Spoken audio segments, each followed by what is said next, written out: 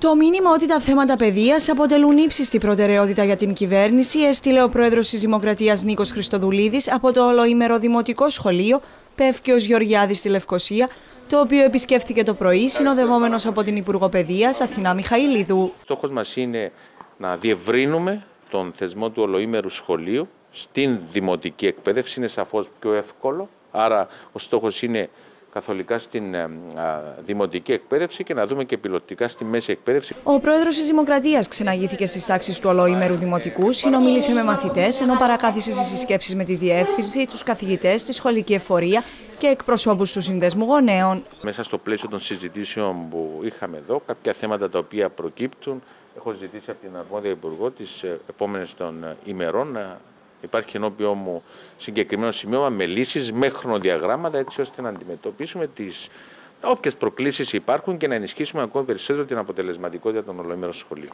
Πολύ ενδιαφέρουσα η συζήτηση που είχε ο πρόεδρος Χριστοδουλίδης και με έναν νεαρό ομολόγο του, τον πρόεδρο του Δημοτικού Σχολείου. Τι τους υποσχέθηκε για να να οργανώσουμε τουρνουά ποδοσφαίρου για όλα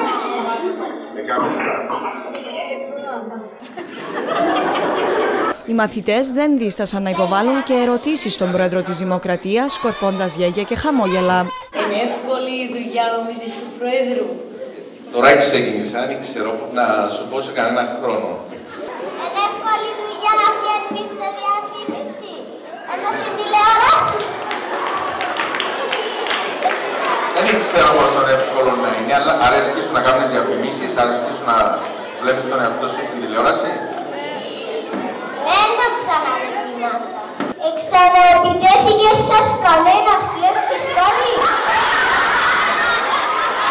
Όχι, μέχρι στιγμής δεν μου επιτέθηκε κανένας. Ξέρεις κάτι, πρέπει να φοβούμε, έχεις καμιά πληροφορία. Όχι, αφού έχετε τα security σας κι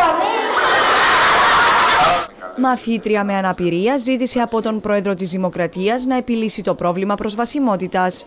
Θέλω να έχει το σχολείο προσβάσεις σε όλους τους χώρους. Έχεις πρόβλημα σε κάποιους χώρους που μπορείς να πάεις. Σε σκάλες. Πρέπει να έχω ράμπα. Ο πρόεδρος της Δημοκρατίας ζήτησε όπως τεθεί χρονοδιάγραμμα 6 μηνών για επίλυση του συγκεκριμένου ζήτηματος.